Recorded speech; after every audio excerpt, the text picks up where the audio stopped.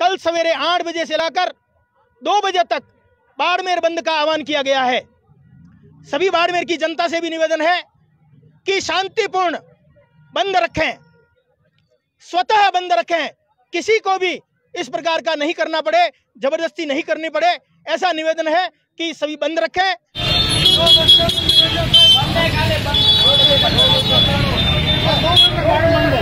दो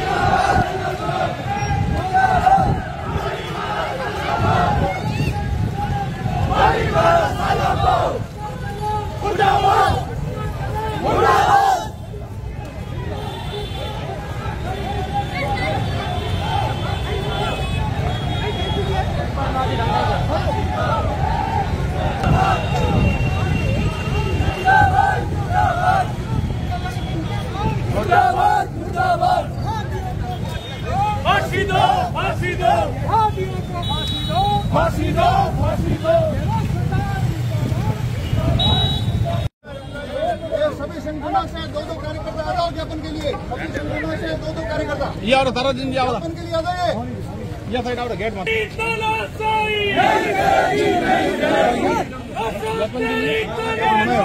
नहीं चलेगी नहीं ಮಾಡಿ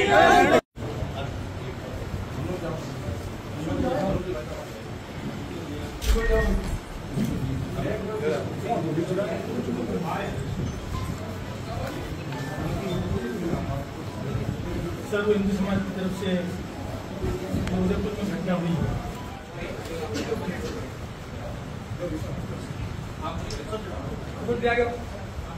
हम सभी की ये मांग है राष्ट्रपति महोदय से निवेदन है, राज्यपाल से निवेदन है कि वह अपने अधिकारों का इस्तेमाल करते हुए और ऐसी सरकार को बर्खास्त करें। जो उदयपुर में एक, इसको उग्रवादी नहीं तो एक सोची समझी घटना कहना चाहिए। उग्रवाद की घटना भी है और एक कानून के ऊपर तमाचा दिखाने वाली जैसी भी घटना है। इस घटना के बाद में ऐसा नहीं लगता है कि कुछ लोगों को कानून का राज नहीं है। उनके मन के मंसूबे जिस प्रकार के लगते हैं, उसके प्रकार उसी तरह से उनको ऐसा लगता है कि हम कुछ भी करेंगे और इस देश में, हिंदुस्तान में चलेगा। उसके खिलाफ लोगों में भयंकर आक्रोश है और उसी आक्रोश के चलते हुए, धारा 144 लगाने के बावजूद भी सभी को शांत रहने का, कहने के बावजूद भी उनको ऐसा लगता है कि हमें दबाया जा रहा है। यह इस प्रकार की घटना केवल राजस्थान में क्यों हो रही है? इतना बड़ा देश हिंदुस्तान है, लेकिन लगातार राजस्थान में इस प्रकार की घटनाएँ हो रही है। उससे यह सिद्ध होता है कि राजस्थान की सरकार तुष्टिकरण की नीति से प्रेरित होकर और व्यवहार कर रही है। सरकार को इस बारे में तुरंत सोचना चाहिए कि हम निष्पक्ष कार्रवाई करें। ऐसे इस प्रकार के जो अपराधी प्रवृत्ति के लोग हैं, उनके खिलाफ तुरंत कार्रवाई करनी चाहिए। बाड़मेर की सर्व हिंदू समाज की यह मांग है कि जो उदयपुर में घटना हुई है, उस उन व्यक्तियों को तुरंत फांसी मिलनी चाहिए। और उनके पीछे जो उनके आका है, उन तक भी उचित कार्रवाई होकर और उनके खिलाफ कार्रवाई होकर उनको भी बंद करना चाहिए। और तुरंत से तुरंत इसका निर्णय होकर और उनको फांसी की सजा मिले। अ, कल किस तरीके की अ, जो आप लोगों में सहमति बनी है वो क्या कुछ सहमति बनी है कल बाड़मेर बंद को लेकर? जन भावना इतनी तीव्र है इसके चलते हुए सभी लोगों की यह इच्छा है कि शांतिपूर्ण बाड़मेर बंद होना चाहिए। हमारे बाड़मेर की परंपरा भी रही है यहाँ किसी भी प्रकार के आंदोलन शांतिपूर्वक रहे हैं और उसी के अनुरूप कल सवेरे आठ बजे से लगाकर दो बजे तक बाड़मेर बंद का आह्वान किया गया है। सभी बाड़मेर की जनता से भी निवेदन है कि शांतिपूर्ण बंद रखें स्वतः बंद रखें। किसी को भी इस प्रकार का नहीं करना पड़े ज़बरदस्ती नहीं करनी पड़े ऐसा निवेदन है कि सभी बंद रखें और बंद में सहयोग देकर और यह सिद्ध करें कि इस प्रकार की घटनाएँ हमारे देश में नहीं चलेगी। दो बजे गांधी चौक में इकट्ठे होकर और बाड़मेर बंद का आह्वान करने के बाद में यहाँ आकर और पुनः ज्ञापन दिया जाएगा।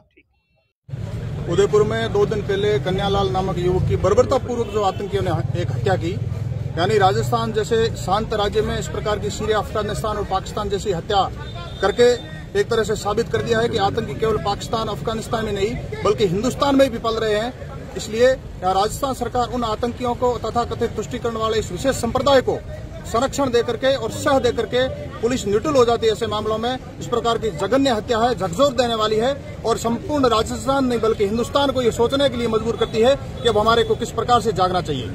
तो आज क्या था? आज किस तरीके से विरोध प्रदर्शन किया गया और आगे क्या प्लान है? ये बहुत छोटा विरोध है ये एक प्रारंभ है कल बाड़मेर को बंद किया जाएगा उसके बाद में बहुत बड़ा एक ज़िले का व्यापक आक्रोश रैली होगी संपूर्ण हिंदू समाज जाग चुका है।